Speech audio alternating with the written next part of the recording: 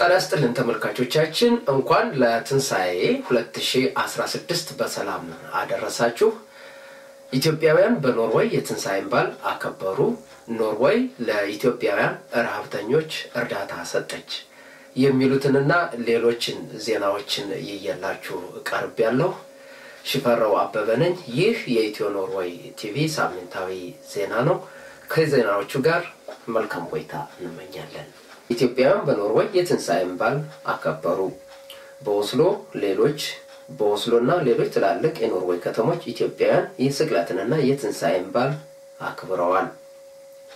የኢትዮጵያ ኦርቶዶክስ፣ የፕሮቴስታንትና ሌሎች በክርስትና የሚያምኑ ኢትዮጵያውያን ክርስቲያኖች በኖርዌይ የትንሣኤን 2016 በዓል በደመቀ ሁኔታ አክብረዋል።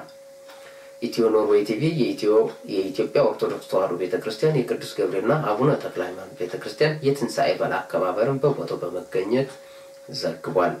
ቤተ ክርስቲያኗ በኦስሎ ከተማ በማዮርስቷ ትገኛለች።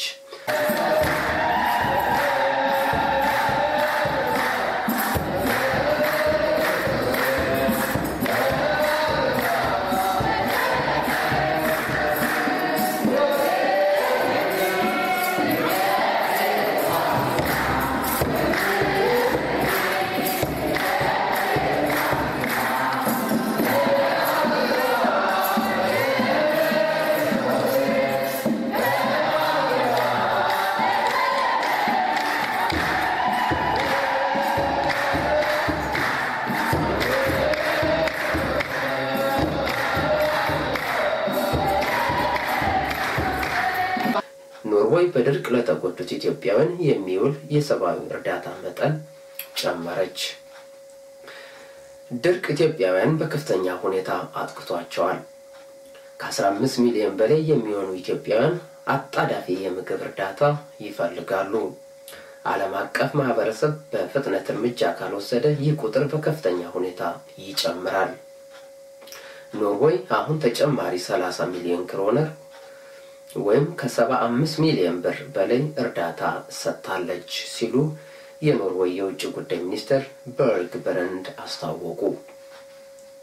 እንደ ተባበሩት መንግስታት መረጃ ከሆነ ድርቁ በኢሊኖ ወይም በአየር መዛባት ምክንያት የተከሰተ ትልቁና አደገኛው ድርቅ ነው ሲሉ አክለዋል።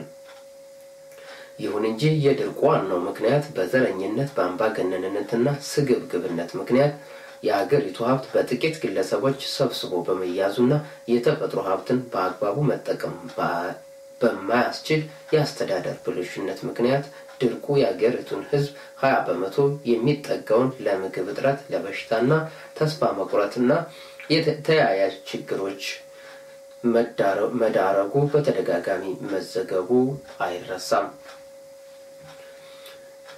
ኢትዮጵያ ኖርዌይ በትብብር ለመስራት የምትፈልጋት በጣም ጠቃሚ አገር ናት። ኖርዌይ የለገሰችው እርዳታ በ Norwegian ቤተ ክርስቲያን የእርዳታ ክፍል፣ የስደተኞች እርዳታ ሰጪ መስሪያ ቤት Norsk Folkehjelp እና በኖርዌይ የልማት ፈንድ በኩል በድርቁ ለተጎዱት ሰዎች እንዲደርስ ይደረጋል። በተጨማሪ ኖርዌይ በተባበሩት መንግስታት በኩል 20 ሚሊዮን ክሮነር መስጠቷን የኖርዌይ የውጭ ጉዳይ ሚኒስትር በርግ ብረንድ አፕሪል 26 2016 ከኦስሎ አስታውቀዋል። የኢትዮጵያ መንግስት የተቃዋሚ መሪዎችን ማሰሩ ማሰሩ አሜሪካን አሳስቧታል። የአሜሪካ State Department የኦሮሞ ፌዴራሊስት ኮንግረስ ኦፌኮ ምክትል ፕሬዝዳንት በቀለ ገርባ በሽብርተኝነት መከሰሳቸው በጣም አሳስቧታል። የኢትዮጵያ መንግስት ፖለቲከኞችን፣ ጋዜጠኞችንና አክቲቪስቶችን የጸረ ሽብር ህጉን በመጠቀም መክሰሱን እንዲያቆም በድጋሚ እንጠይቃለን ሲል መግለጫው አክሏል። ድርጊቱ የኢትዮጵያውያንን የዲሞክራሲ ጥያቄ ያባብሰዋል እንጂ አያስቆመውም። ባለፉት ወራት በኦሮሚያ ለተፈጸመው ሰብአዊ መብት ረገጣ የጸጥታ ኃይሎች የፈጸሙት ስህተት ነው፣ የጸጥታ ኃይሎች ተጠያቂ ናቸው ቢልም መንግስት አሁን በሰላማዊ ተቃውሞ ተሳትፋቸዋል የሚላቸውን ሰዎች እያሰረ ነው። በተጨማሪ አንድም የጸጥታ ኃይል ተጠያቂ አልሆነም። ድርጊቱ መተማመንን ስለሚያጠፋ ዘላቂ መፍትሄ ለማግኘት እንቅፋት ይሆናል። በመጨረሻም መንግስት የታሰሩትን ሰዎች የፍርድ ሂደት በአግባቡ እንዲይዝ፣ የዜጎች መብት እንዲጠብቅ፣ በፖለቲካ የመሳተፍ መብት እንዲፈቅድ፣ የታሰሩት እንዲፈቱ State Department April 29 2016 ባወጣው መግለጫ አስታውቋል። የተመጣጠነ ዲጂታል እና የባህላዊ የመገናኛ ብዙኃን ዘዴዎች አስፈላጊ መሆናቸውን የተባበሩት መንግስታት አስታወቀ። ኢንተርኔት፣ ፌስቡክ፣ Twitter፣ YouTube እና የመሳሰሉት የ social media ዎች የተባበሩት መንግስታት የሚያወጣቸውን መረጃዎች በማሰራጨት ከፍተኛ ሚና እየተጫወቱ ነው። በተለይ ወጣቶችን በመድረስ በኩል አቻ የላቸውም። ይሁን እንጂ በታዳጊ ሀገሮች አብዛኛው ህዝብ የኢንተርኔት ተጠቃሚ አይደለም። በታዳጊ ሀገሮች ሰባ አምስት ከመቶ ራዲዮ የመጠቀም እድል አላቸው። በታዳጊ ሀገሮች እና በሀብታም ሀገሮች መካከል ያለው የኢንተርኔት አጠቃቀም ልዩነት መቀራረብ አለበት። የመረጃዎችም ስርጭት ራዲዮ ብቻ የመስማት እድል ያላቸውንና የኢንተርኔት ተጠቃሚዎችን ሚዛን የሚጠብቅ መሆን አለበት። በተጨማሪ በበርካታ ቋንቋዎች መረጃዎችን ማሰራጨት አስፈላጊ መሆኑን የተባበሩት መንግስታት የመረጃ ኮሚቴ ሰላሳ ሶስተኛ ስብሰባ አፕሪል 27 2016 ባደረገበት ወቅት አስታውቋል።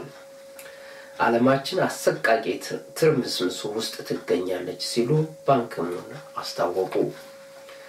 አሁን የምንገኘው በአሰቃቂ ትርምስምስ ውስጥ ነው። ከፍተኛ ቁጥር ያለው ህዝብ ቀየውን ለቆ እንዲሰደድ ተገዷል። በርካቶች ግጭት ፈጣሪ አክራሪዎችና ገዳዮችን እየሸሹ ይሰደዳሉ። መልካም ቦታ ይገጥመናል ብለው ሲጠብቁ በተሰደዱበት ቦታ ደግሞ ጥላቻና ማግለል ይጠብቃቸዋል። መከፋፈል፣ ማግለል የጥንፈኞች ስራ ነው። ጥንፈኞች ህንፃዎችን ለመደርመስ ይተኩሳሉ። ነገር ግን እያወደሙት የሚገኙት የጋራ መሰረታችንን ነው። ስለዚህ በመተሳሰብ በአንድነት በመቀራረብ እንድንኖር አጥብቄ እለምናለሁ ሲሉ የተባበሩት መንግስታት secretary ባንኪሙን ለ Alliance for Civilization ዓለም አቀፍ ፎረም ጥሪ አቀረቡ። ይህ የ2030 የዘላቂ ልማት እቅድ ትልቁ ዓላማ ነው ሲሉም አክለዋል። ይህ አጀንዳ ለሁሉም የሰው ዘር የታሰበ ነው። በተለይ በዘረኝነት ማግለል፣ ዜኖፎቢያ እና ሌሎች በተዛቡ አመለካከቶች ምክንያት ለረጅም ጊዜ ለተጎዱ የማህበረሰብ ክፍሎች ፎረሙ ሊያግዛቸው ይገባል። በተጨማሪ በዓለም ዙሪያ ግጭቶችን ለማስወገድ እና ሰላምን ለማምጣት የችግሩ ምንጭ ከስሩ በማድረግ ዘላቂ ሰላም ለማምጣት ጥረት እየተደረገ ነው ብለዋል ባንኪሙን። ፎረሙ አስታራቂ ሀሳቦች ያላቸውን ድርጅቶችና ግለሰቦች ግለሰቦች ድምፃቸውን እንዲያጎላና እንዲደግፋቸው አሳስበዋል። ወጣት ሀሳብ አፍላቂዎችን፣ ጋዜጠኞችን ውይይትን የሚያበረታቱና የሚያከናውኑትን እንዲደግፍ ማሳሰቢያ ሰጥተዋል። ባንኪሙን ንግግሩን ያደረጉት Alliance of Civilization ዓለም አቀፍ ፎረም አፕሪል 26 2016 ጠቅላላ ስብሰባ ባደረገበት ወቅት ነው። ፎረሙ የምስራቅ አፍሪካ በተለይ በኢትዮጵያ ያንዣበበውን የእርስ በርስ ግጭት፣ ስደት፣ ረሃብና ሰብአዊ ቀውስ ለማስታገስ ከፈለገ የችግሩን ምንጭ ማስወገድ ወይም ማስተካከል ይጠበቅበታል። ኢትዮጵያ የአፍሪካ ማዕከልና ለመካከለኛው ምስራቅ በቅርብ ርቀት ላይ የምትገኝ ወሳኝ አገር በመሆኗ ልዩ ትኩረት በመስጠት የኢትዮጵያን ብሎም የምስራቅ አፍሪካ ከፍ ሲልም ዓለም አቀፍ ትርምስ ከፍተኛ አስተዋጽኦ ሊኖረው የሚችለውን የኢትዮጵያን በዘረኝነትና የጥቂቶች የበላይነትና ፈላጭ ቆራጭነት ላይ የተመሰረተውን አስተዳደር አንድ ሊለው ይገባል ሲሉ አንዳንድ አስተያየት ሰጪዎች አሳስበዋል። አሜሪካ በተለይ ለአምስት ዓመታት ተሰራጭቶ የቆየው የዘረኝነት ላይና በመለያየት ላይ በማግለል ላይ የተመሰረተ የተመረኮዘ አምባገነናዊ አገዛዝ ምንም አይነት ድጋፍ ቢደረግለትም ሊያዛልቅ ስለማይችል በጊዜ አንድ ለማለት መወሰኗን መረጃዎች በየአቅጣጫው እየወጡ መሆናቸው ይታወቃል። ፑቲን 25 ሺህ ሰዎች የሚኖሩበትና የዓለምን የ space ጥናት ለመምራት የሚያስችለውን ከተማ ገነባ። ፑቲን ራሽያዎች አዲስ ንጹሕና ራሽያዊ የዓለም የህዋ በር ያሉትን የህዋ ምርምር ማዕከል ሐሙስ አፕሪል 27 2016 መረቀ ሲል Aftenposten ዘገበ። ማዕከሉ ለመጀመሪያ ጊዜ ከሩሲያ ምድር ወደ ዓለም የህዋ ምርምር ማዕከል ሮኬት ተኩሷል። ለሩሲያ ህዝብ ታሪካዊ ቀን ነው። የህዋ ምርምር ከተማ የግንባታው የህዋ ምርምር ከተማ ግንባታው ከ50 እስከ 80 ሚሊዮን Norwegian ክሮነር ወስዷል ሲል ጋዜጣው አክሎ ዘግቧል። ተመልካቾቻችን ለዚህ ሳምንት የነበሩን ዜናዎች እነኚህ ነበሩ። በድጋሚ መልካም የትንሣኤ በዓል እንመኝላችኋለን። ከቀሪ ዝግጅቶቻችን ጋር መልካም ቆይታ